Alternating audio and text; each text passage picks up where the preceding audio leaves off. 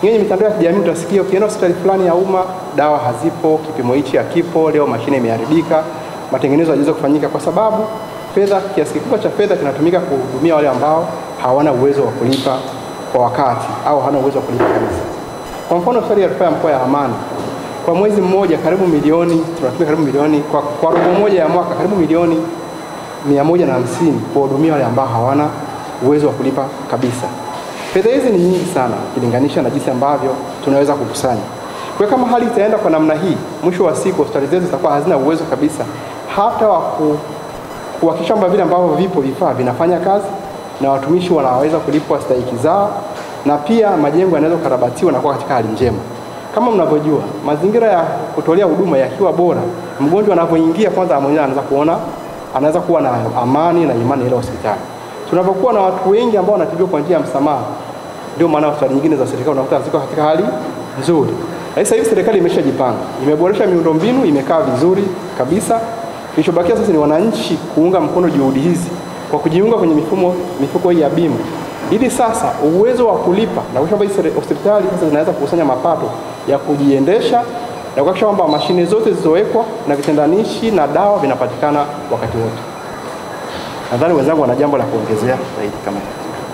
Uh, asante sana uh, mwandishi kutoka Azam TV kwa swali lako la msingi. Kiuhalisia e, katika kipindi hiki ambacho hatujakuwa na bima ya afya kwa wote, tumeona changamoto kwa baadhi ya wagonjwa wanakuja, wanaanza vizuri ile huduma, wanalipa, ikifika katikati wanakuwa wameishiwa. Sasa hapo tena inabidi familia wanaanza kuitana, na wakati mwingine inabidi wanakuja mpaka ofisini kwako sasa kuomba bana, tumefika hapa, tumeshindwa na vitu kama hivyo. Ukweli tunatoa msamaha ya aina mbili. Kuna msamaha ule tunaotoa wa moja kwa moja, lakini kuna msamaha wa muda ambao tunawapa fursa ndugu kuweza kwenda kujitafuta ili waweze kulipa eh, huduma ile. Kuna huduma tunazozifanya, kwa mfano upasuaji wa mifupa. Tunafanya upasuaji mifupa, chuma kimoja tunakinunua kile kwa ajili ya kuunga mfupa, tunakinunua zaidi ya shilingi laki mbili, si ndio? Sasa mtu amekuja katika matibabu yake yote ametoa shilingi elfu hamsini tu. Maana yake ni nini?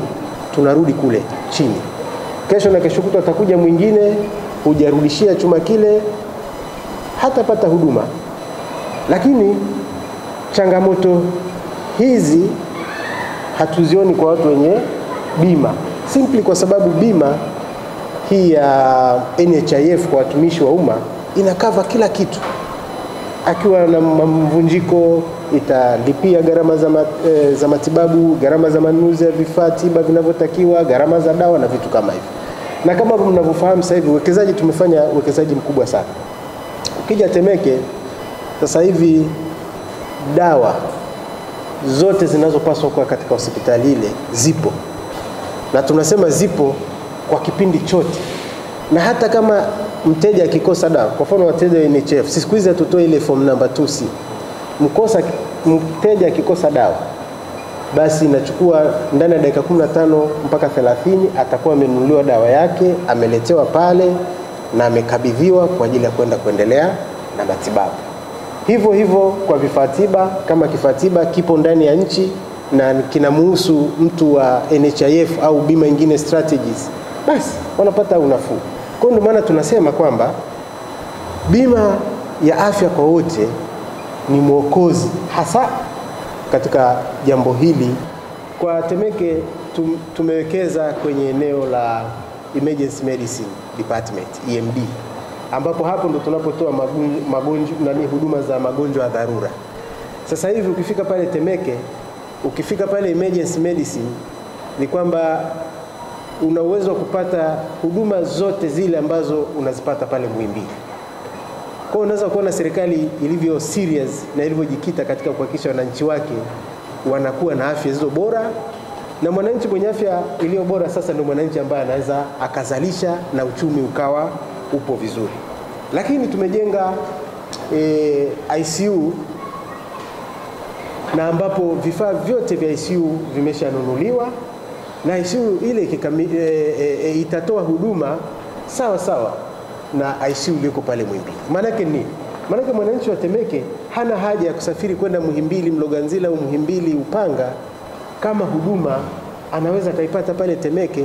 Kwa hiyo automatically tunapunguza mateso, lakini automatically tunapunguza gharama, lakini pia tunamsaidia mwananchi kutulia. Kwenye eneo la kutoa elimu, kwa kweli kama alivyosema mwenzangu, tumejipanga vizuri kwanza kuwashirikisha viongozi katika ngazi zote, kuanzia ngazi ya mkoa, ngazi ya wilaya hadi ngazi ya kata. Lakini tutashirikisha vikundi vya aina zote, kuanzia vikundi vile vya michezo jogging, zile jogging club zile mnazifahamu, lakini kuna e, vikundi vile maalum. Kwa mfano tuna hawa waendesha bodaboda na waendesha bajaji na hawa kama mkiangalia vizuri ndo wahanga wakubwa sana, na mnakumbuka nimelizungumza hili swala mbele ya waandishi wa habari tena huko nyuma. Hawa wakati wote chochote kinaweza katokea, sio kwa wao kupenda, ni kwa bahati mbaya. Kwa hiyo hawa lazima pia tuweze kuwagusa na waweze kuhakikisha kwamba wanakuwa na bima ya afya. Na maeneo mengine nafikiri ameshataja mwenzangu, masuala ya makanisani na sehemu zingine, labda kama ana eneo la kuongezea mwenzangu, karibu. Asante. Mimi nina eneo moja tu la kuongezea, ni hili eneo ambalo kwamba watu wengi wamejiunga kwenye mfuko, wanakuja kutoka kuja kupata huduma. Inawezekana ni wakawa idadi ni ile ile, lakini watakuwa na na hamu ya kutibiwa vizuri kwa sababu amechangia. Kwa hiyo kwenye hilo eneo kuna maeneo mawili ambapo kuanzia wizara mpaka kwenye sisi watu wa huduma ukumbi tumejipanga. Kuna eneo la huduma kwa mteja kama mtaangalia hapa Mwananyamala pale chini kuna sehemu imeandikwa huduma kwa mteja, maoni yako, malalamiko. Kwa hiyo chochote hilo eneo tumeliboresha na ni eneo jipya ambalo tunaliwekea mkazo kwamba mtu ukienda ukauliza pale, aliyeko pale anakuelezea huduma zote zinazopatikana Mwananyamala.